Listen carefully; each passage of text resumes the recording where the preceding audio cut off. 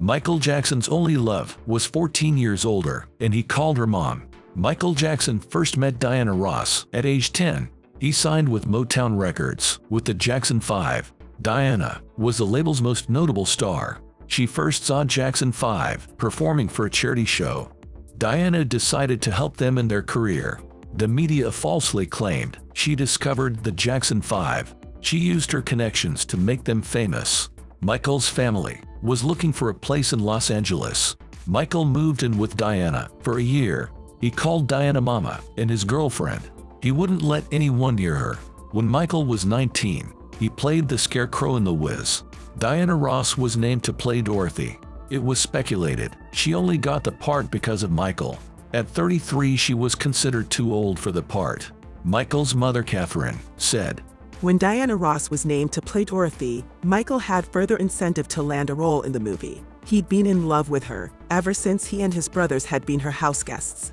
During filming, Michael and Diana would regularly go out.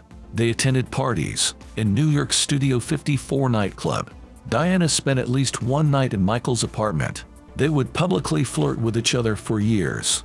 Michael always carried a photo of him and Diana. He thought a woman had to look like her to be beautiful. There was a room in Michael's house full of Diana's pictures. Allegedly, they were engaged twice. Both times Diana broke off the engagement. They had a 14-year age gap. Diana worried it would damage her career. She made several attempts to soften the blow for Michael. They were together at the 1981 Oscars. Diana said Michael was going to play her son. In 1986, she married her second husband. Michael was set to attend their wedding, but he canceled at the last minute. When I heard Diana Ross was getting married, I was happy for her, because I knew it would make her very joyous. Still, it was hard for me, because I had to walk around pretending to be overwhelmed that Diana was getting married to this man I'd never met. I wanted her to be happy, but I have to admit that I was a bit hurt and a little jealous.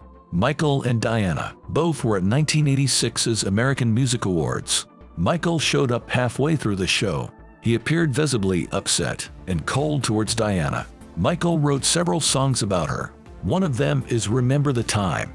In 1987, he released the song Dirty Diana. Many fans speculated it was a dig at Diana Ross. Diana secretly saw Michael, even during her pregnancy, but their interactions became more infrequent. She focused on her family, and he toured around the world. In 1995, Diana visited Michael in the hospital. He had his then wife Lisa Marie Presley over. She was thrown out of his room before Diana's arrival. Diana was mentioned in Michael's will. She was named as a secondary guardian for his kids. After Michael's death, Diana defended him against critics. I believe and trust that Michael Jackson was and is a magnificent, incredible force to me and to many others. Stop in the name of love